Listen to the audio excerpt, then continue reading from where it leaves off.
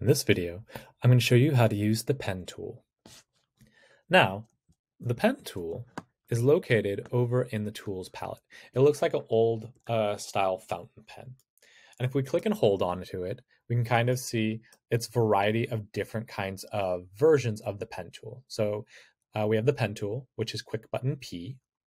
We have the add anchor point tool, the delete anchor point tool, and the uh, the uh, anchor point tool, which is often called the convert anchor point tool.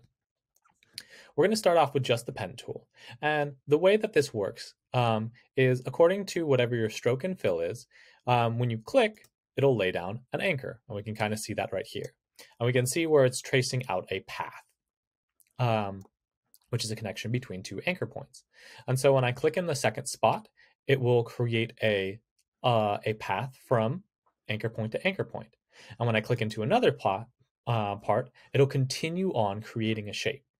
Since I've told it that I want to have a, uh, a fill of yellow and a stroke of a darker kind of yellow, or um, then it's automatically doing that.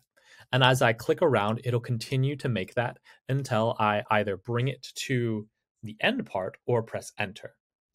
I'll show you the difference between pressing enter or I'm bringing it to the end part. So if I press enter, you can see that it stopped that shape and I can start clicking around and creating a new shape. Problem is by pressing enter, it doesn't actually fully close the shape. We can see here's our beginning, here's our end, and our outline doesn't uh, fully connect. So there isn't a stroke outline because I stopped the shape prematurely. Whereas in this triangle that I just made, I brought it all the way back to the beginning and it connected it so it has an outline all the way. If I want to continue a shape, I just have to go back to an original anchor uh, or an open anchor like this one. I will click on it to tell it that I want to continue moving from that shape and I will bring it over. And I can probably add on if I wanted to continue adding to this, and then I'm going to bring it to the end. And so now we have a full shape. So those are two full shapes created by the pen tool. Now I can come back to the pen tool and I can choose these many options of add anchor point tool, delete anchor points, or the convert anchor point tool. But those are already built into the pen tool as it is. I just have to be conscious about where I'm clicking and what I'm doing with it. So if I hover my cursor over an anchor point, notice how its little um, the little icon next to it turns into a minus. So that will be the subtract anchor point. And you can see that it took it away, uh, making it more simple and redefining the shape um, according to where I clicked. I can also add an anchor point. So maybe I want to um, add an anchor point right here. I'm going to add like some extra parts. So I'm going to add an anchor point here and here, here, and here. What I want to do with those various anchor points is I'm going to move to the direct select tool and I'm going to click on those anchors that I added and I'm going to move them so that I can redefine this shape. And so that is adding and subtracting anchors onto a pre-existing shape.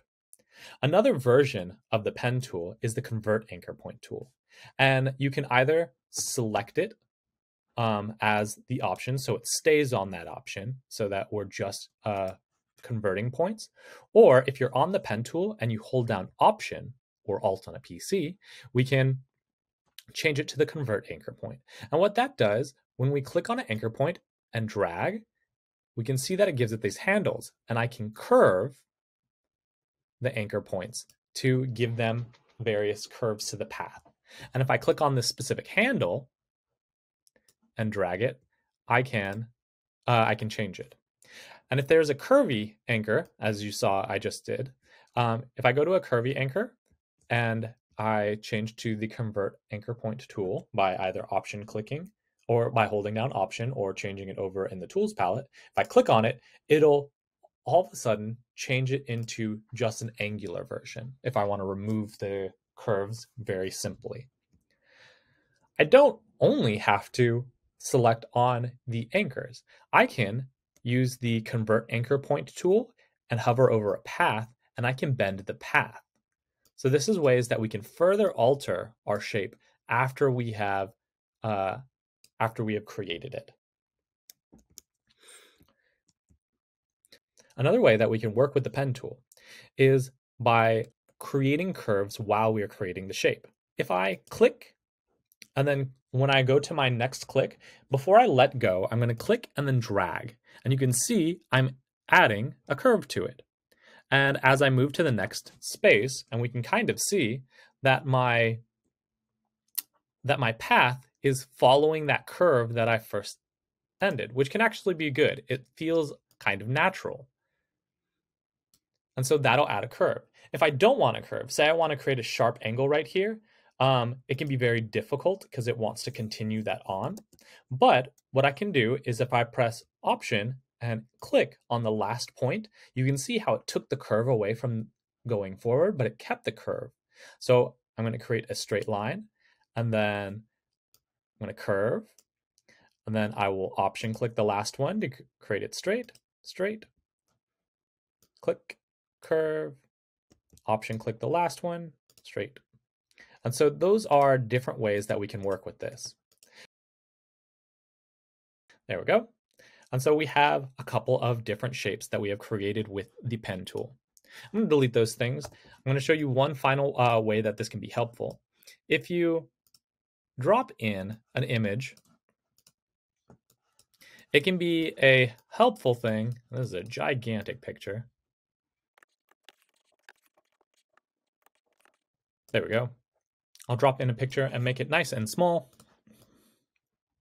And so using the pen tool, we can trace around this so that I don't have to create this all on my own. And I'm just going to zoom in over here. I'll use the pen tool and I'll start off on, usually I like to start off on a point and I'm going to click, drag to give it a curve and click around uh, every once in a while, skipping some spaces can be very helpful. And you can see it's automatically creating a shape, which is covering up my dolphin, which is actually a little bit frustrating. It is making it harder to see where the dolphin is and to be able to tell. So what I might want to do is um, click into the selection tool, click onto the shape before uh, I finish it, and tell it that I don't want a fill so I can see in it. And I'll tell it that my stroke Maybe I'll bring my stroke down to one instead so that I can see where it is, but I'm not having to worry about it covering up too much information. And then I'll give it a stroke and fill once I finish the shape. So I can continue using the, the pen tool. I'm going to go back to the last point I was at, going to click on it to tell it that I want to continue. And I'm just going to click around following the shape of this dolphin. Anytime I click and I don't want that curve to go in there, I'll option click that last one so I can play around with that curve so I can catch the divots where they need to be. And I will continue to make this dolphin. Um, so I'm going to speed up the video right here.